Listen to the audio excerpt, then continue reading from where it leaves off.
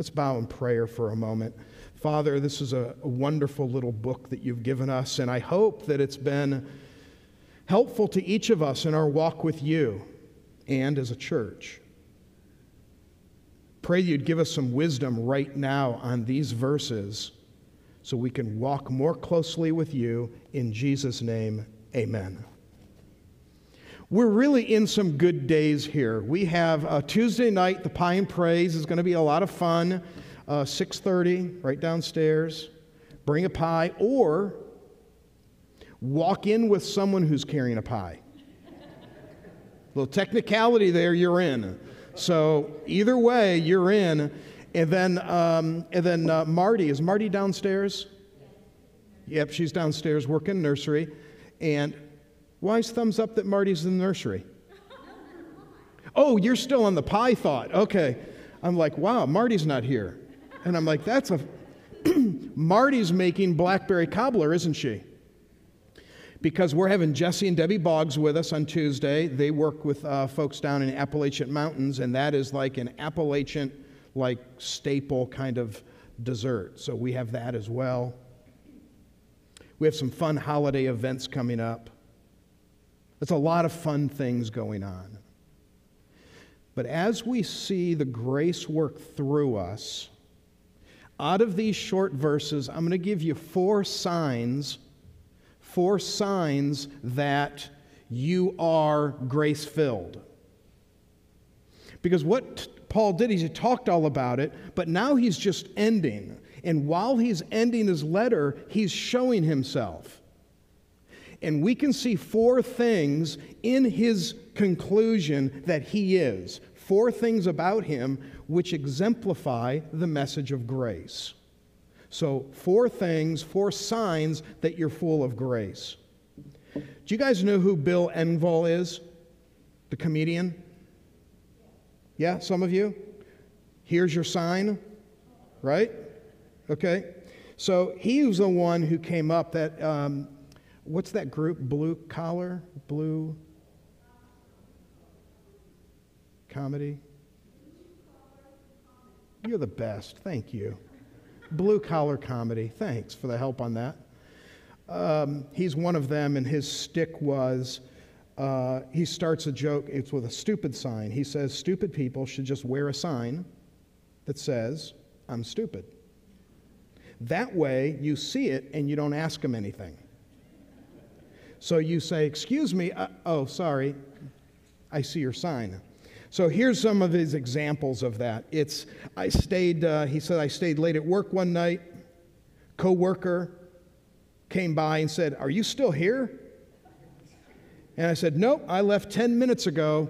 Here's your sign. Right? Do you remember those? Remember these? So here's the one I pulled up to a dock in a little boat and lifted up a big old stringer of bass. And someone on the dock says, Hey, did you catch all them fish? He said, Nope, I talked them all into giving up. Here's your sign. Uh, here's one last one. Um, pulling your car into a, a gas station and there is a flat tire. An attendant walks out and says, Tire go flat? He goes, Nope, I was just driving around and those other three just swelled right up. Here's your sign. So, what we're going to look at are five signs that you have grace in your life. Real simple. You have a relationship with God through faith in Jesus Christ. You've received his kindness and grace and forgiveness and love. And for those who have, these would be signs in your life. These are things that you would have. Take a look at the first one, verse 12. When I send Artemas and Tychicus to you, do your best to come to me at Nicopolis, for I have decided to spend the winter there. Simple little verse.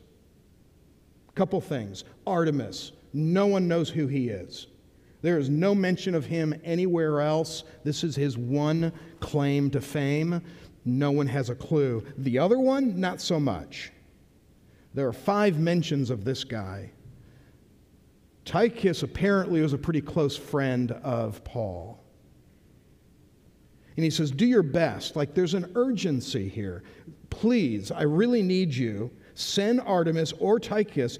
Do your best to come to me at Nicopolis because I'm wintering. I've decided to winter there. There's a little side note here that lets us know it's not, he's not writing from prison. This is his own liberty. I've decided to do this. So, this is in between some of his imprisonments that he writes this letter. And you see the very simple uh, task that he had is I'm sending, I don't know who, Artemas or Tychicus, I'm sending them to you so that you can leave the island of Crete and go meet me at Nicopolis, which is a little bit of a hub. Meet me there because I'm going to winter there so we can get our time together. Paul names over a hundred people in his letters. That remarkable? There's 13 letters. He is dropping names right and left. Well, well, why would the Lord have that, inspired by God, naming people, many of whom we have no idea who they are? It does us no good to know that Artemas was one of the ones maybe being sent. So, why are we knowing these things? It's clear that Paul was a team. This is a good example for us. It's part of a team. It's never one person. We attribute so much of the early church to, obviously, it's the disciples and then especially Paul. Where Paul would say, Oh, are you kidding? Yeah, I led it, but probably off the top of his head, he could name dozens and dozens of names of people that were critical, if not for, it wouldn't happen. Let's apply that to us as a church. The success of a local body is the involvement of the local body. A phrase that I've used over the, over the years, and I, I don't even know if I might be the only one that really gets this, but somebody will come to me and say, This is what we need to do. Uh, I, would, I want us to do whatever type of ministry. And my first, whether I say it out loud or not, my first thought is, We're not Rome. I'm not a pope. If God has called you to a ministry, my job, our job, is to empower, develop, equip, and unleash you to do it. It's a very important missed principle in the local church is priesthood of the believer is not just equal access to God, it's also equal mission. Think of that sentence for a second. We're regularly saying that we have equal access to God, priesthood of the believer, right? You can go directly to God through faith in Jesus Christ. You don't need a priest. You are the priest. You can go directly. Jesus Christ. You agree with that, right? So that's why we don't wear the collar backwards, although I'd think that'd be cool. I have one. Yeah, of course I do. I wear it at Halloween. But why don't you come to clergy to God? And you say, well, because God has called me through faith in Jesus, and you can go directly to the Heavenly Father in the exact same way that I do. Okay? If that's true, and it is, if that's true, you also have equal calling. God's called you to a mission. What is it? What is your skill set that is so unique? Nobody has the same talents and abilities that you have. You because you add everything to it, talents, abilities, personality, experience. You start adding these, nobody is like you. Paul is recognizing key people and saying they are amazingly unique, they're amazing there. They're going to do this. and everyone is being unleashed. Ephesians 4 says the job of the pastor is to equip the people to do the work of the ministry. Too often, we think the job of the pastor is to do all the ministry. And the truth is, you have your own calling, and I don't want to limit it to here either. You and I should be filling every nonprofit in town, every compassion ministry in town. We're not going to selfishly say, you just need to do it all here for us. No, there are wonderful nonprofits in this town that need you to be involved, right? How many of you, on a fairly regular basis, even if it's twice a year, you do something with a local nonprofit, whether it's food or clothing or homeless or crisis pregnancy? How many of you part? Let me see. Oh, I love it. What's it say? Chartier Season Soccer Club. Oh, there you go. There you, of course, it's going to be soccer. Of course, it is. It's mentoring, helping young kids. That's critical for us because we're a team. So whether it's outside at a nonprofit of some sort or it's right here with us. You look at, um, uh, let's see, uh, Lisa, uh, over 300 boxes? 305. I'm going to say over 300 because that 305 boxes for Operation Christmas Child. That is so good. That is so good. And you look at that ministry, if, if Lisa depended on me to make sure that thing works, we'd have five boxes. Incomplete.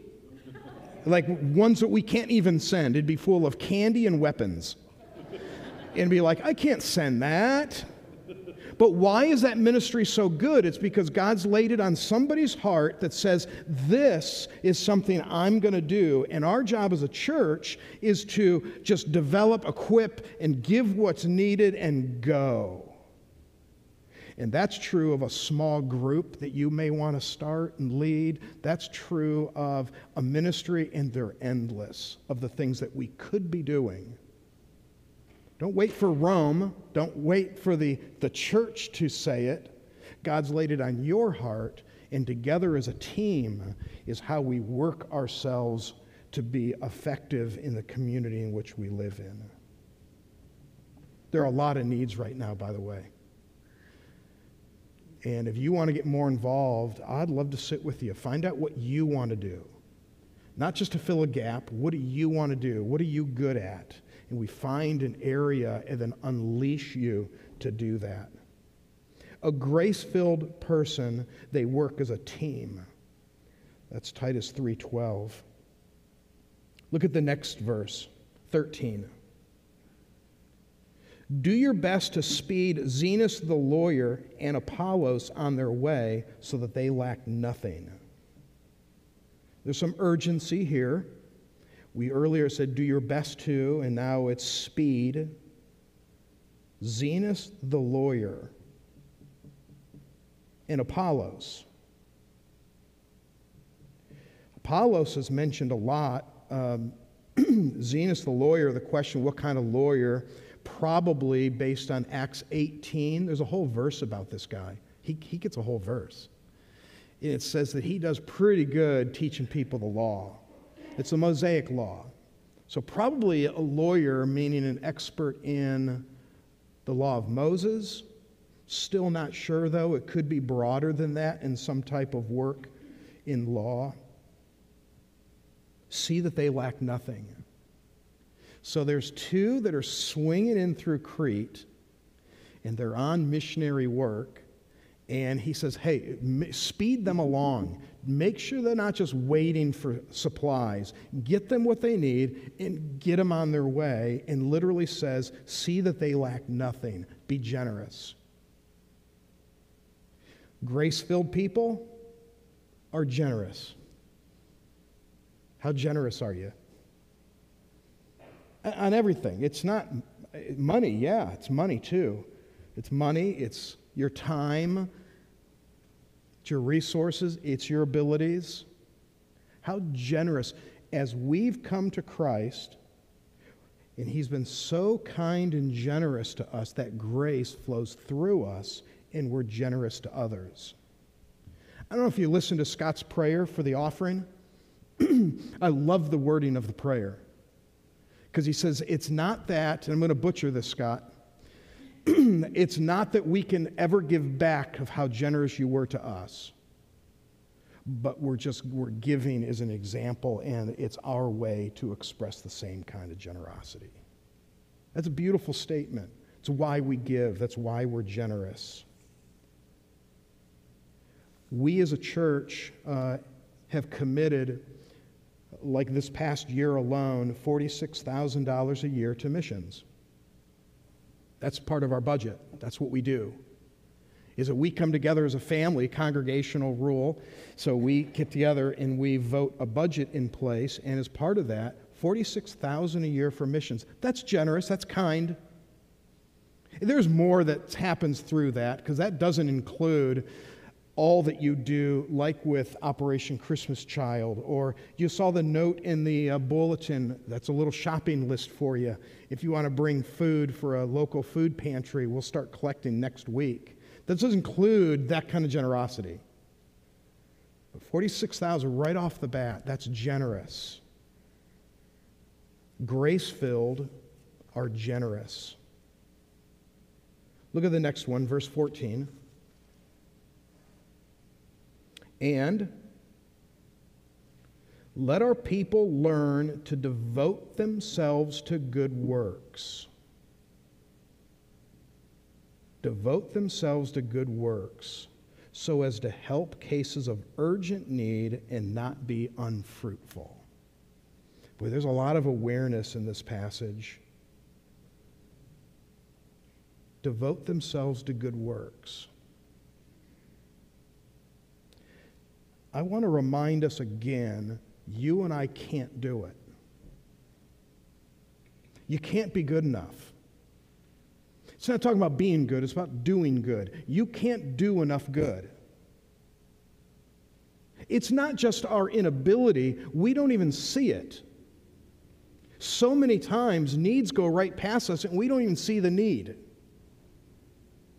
We're dependent on God's grace and kindness in our lives. He's so fresh to us that He provides opportunity and vision to see the opportunity. He provides the ability to do things selflessly in the lives of others that truthfully we're like, ah, I know I could go help them, but I could watch another show on Netflix. It's getting good. I want to finish that. We have this battle all the time with our selflessness, selfishness and actually doing the good works.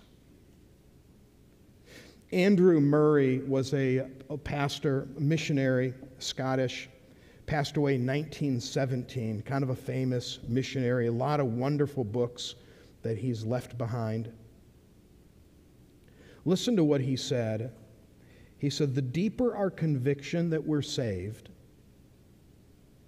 not by works, but by grace, the deeper we understand that we are not saved by works, we're saved by grace, the stronger the proof we should give that we have indeed been saved by good works, not saved by good works. The more we understand the grace, the more there are good works. Because now it's not task, it's not obligation, it's His grace flowing through us. Let's talk for just a moment about what grace is. Grace is not actually like a thing. Grace represents things. So if I said that uh, Alinda here showed a lot of grace to Mike, that actually we don't know what, we have no idea what, what she did because it's not a thing. All I would know is that what Alinda did was gave some unearned, undeserved favor to Mike. That's what grace means. I don't know what it is. I'd have to ask. We're a grace filled church. We're full of grace to our community. Actually, doesn't say anything. I get the point. It means we're giving unearned, undeserved favor to our community. But I don't know what it is. That's why grace isn't actually a thing, it represents things. Be grace filled on your sports team. You have to be. This sets you apart from everybody else on the team that you show unearned, undeserved favor to your sports team. But what? What is it? We'll go back to the source. God has given you an endless amount of grace unearned, undeserved favor from God to you. What is it? That's like the point. I get that I don't deserve it. I get that I didn't earn it. But what is it? You want to be grace filled to your family, to your sports team, to your coworkers. What is it? Well, let's start where we get it. What is the grace, the unearned, undeserved favor of God? What has He lavished on you? I mean, soaked you, unearned, undeserved. What did He give you that's unearned and undeserved? Name some things love Name some things. Eternal life. What's that? Another day. And I, I like that we could go, we go from eternal life and love to another day. And God's smiling right now. He's going, Oh, yeah, this is a fun game. Let's talk about all my unearned, undeserved favor upon you. He goes, Yeah, keep going. You've just talked about a day and you've talked about eternal life. What other things? Just yell some out. Good? Forgiveness. Health, patience. Health is excellent. Mercy. Yeah, he didn't punish you when he could have, should have. Salvation. What was the other one? Holy Spirit. Wow, did we just get a deep bucket right there? Healing. Do you deserve a healing? Did you earn the healing? It was unearned, undeserved. It was grace in the form of healing. Okay, you named those. That's what we get. So when we open up our Bible in the morning and we sit there to read, and you've got your daily bread or whatever you're going to use along with it as a supplement, you've got your Bible sitting open, and you're like, oh, this is what we're soaking in. You are so grace filled to me. Uh, and it depends on your mood. It depends on what's going on in your life. It depends what's happened to you recently, of what it is specifically that you appreciate the most about His grace because they're all true, right? But the fact that you said the one that you said so quickly says something about where you are in your life.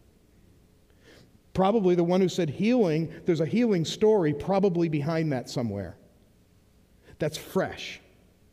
If it's forgiveness, it's because you've gone through something and you kind of needed forgiveness. And so you specifically felt renewed and refreshed by his forgiveness. So that's why you said that one. It's His grace. We open up His Word and we soak in. Yeah, we can say thank you for your grace. We pray for God's grace in your life.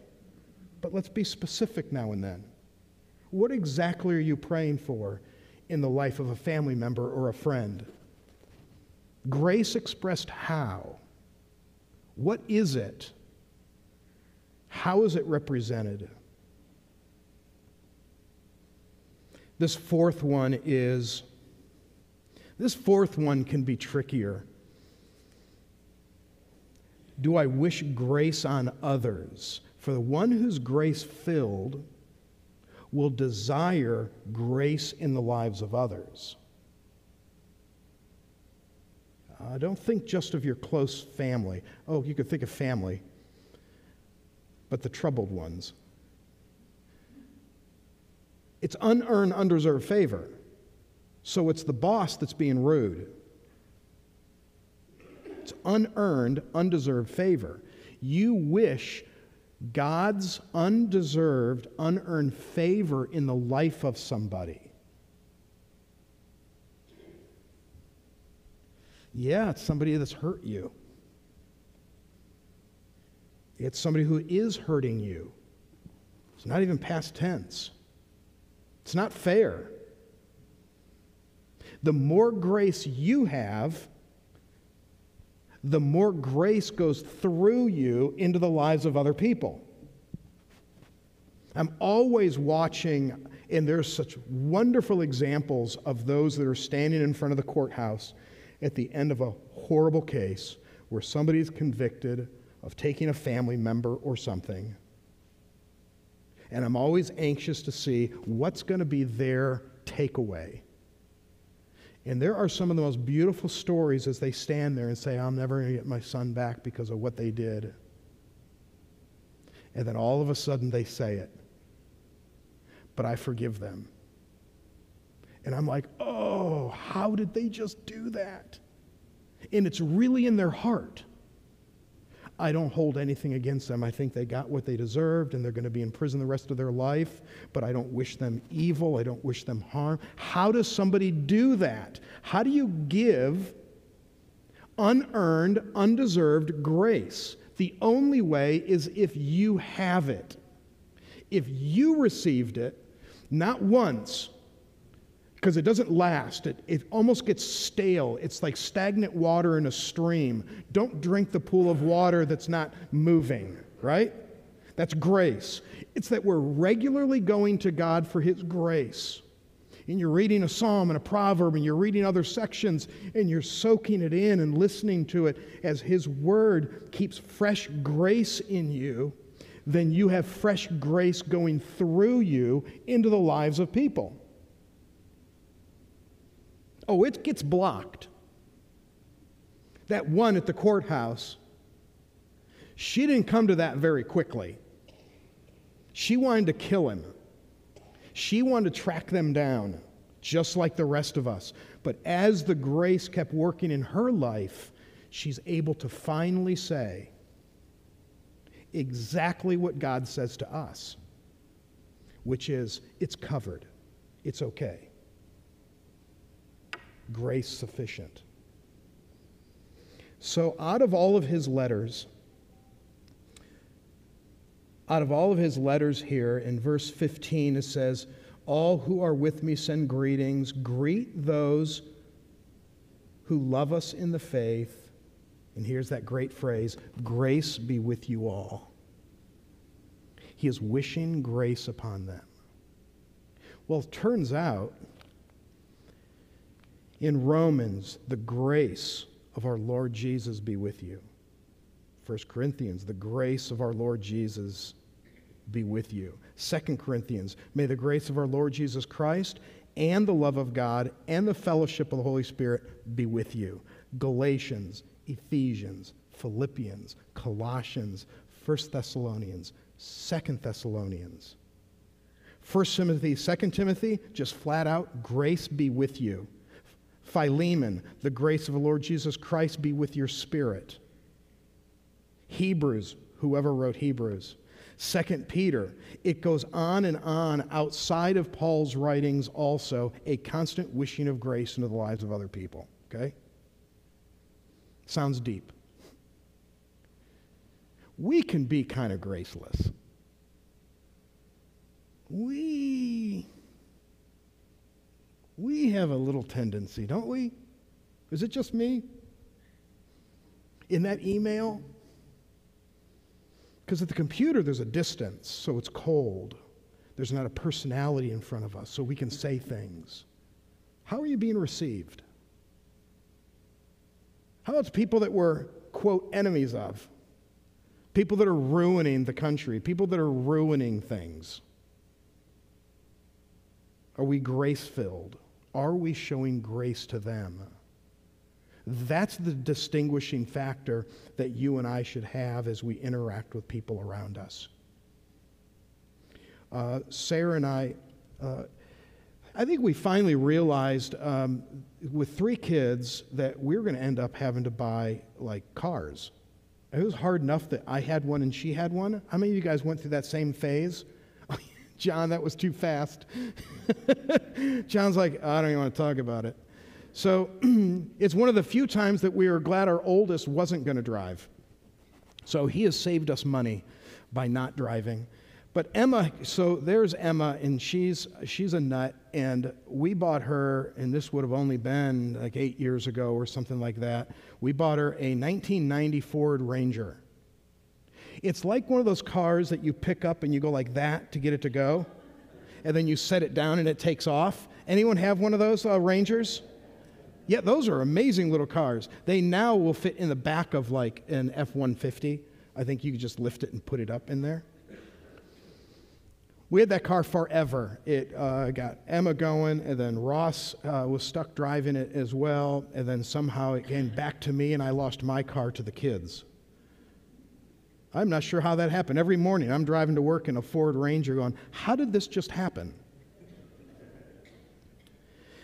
those old cars, and I don't know, I think it's more technical today, but they all have the same kind of bearings in the wheels. There's uh, little bearings that roll around, and it's actually, uh, again, they're a little different today, but back in the day, certainly, whether it's a Mercedes, a Ford Ranger, or a skateboard, they all had the same. It's these bearings. And the bearings need to be greased and they need to work really smooth. And the smoother they work, the smoother it rolls. And again, whether it's a rolls or whether it's a skateboard, it's got to have that in there. Too often we're running without the grease, it's the grace. We are so set on being right I just want to be right, and I know what's right. And we lead with the facts when we're supposed to lead with the grace. Let's not, let's not win. Win is I got to show unearned, undeserved favor. And let God sort the rest out. And we can only do that when we're spending time alone in God's Word through faith in Jesus Christ. It's all to that. It's actually very simple. You'd say, you know what, after the last 40 minutes, I'm a half more confused about grace and Titus than when we started. And I'll say, oh, sorry about that. It's the best I can do. The good news is, I could have cut the whole thing down to three minutes. You could have been home getting the Doritos out to watch the Browns beat the Steelers. You could be all ready for that. oh, really? Yeah, well, you guys beat us last, so it's just fair. Aren't we a give and take? Aren't we all friends? no grace in football. That's where we draw the line. No grace in football. We could have actually summarized it this very simply. All these things that we need to do, we need to work as a team, and all of these signs and things that are grace filled. The truth is, we can say, let's just forget it. Forget all of that. Receive Jesus Christ as your Savior. Put your faith and trust in Him. His grace fills us. But it's not over. Daily the daily refreshment of His grace. And as that grace, it's a cleanser, it'll actually clean us. Remember, it teaches us to say no to ungodliness. Literally, the grace does. Teaches us to say yes to good works. Just sit with His grace and allow His grace to work through us into the lives of other people. I could probably, like you, name people in this world that might need this, but that's pretty graceless. There's one person I know that needs it, and it's me. More grace coming into me so that more grace goes out of me. You, you pray with me right now. It's quietness right now for just a moment. If you've never received Jesus Christ as your Savior, it's there. It's not a church, it's not liturgy, it's not a program. He's a He. It's Jesus who died for you, for all of your sin. In faith in Him, brings a relationship with God, the elimination of the sin. And if you've never received him, I pray that you could, you right now, just pray these words silently between you and God. Heavenly Father, I need you. Thank you for dying for me. I trust you for eternal life.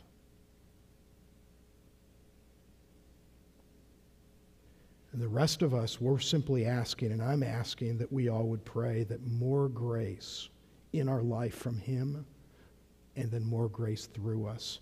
Heavenly Father, we are asking that very thing.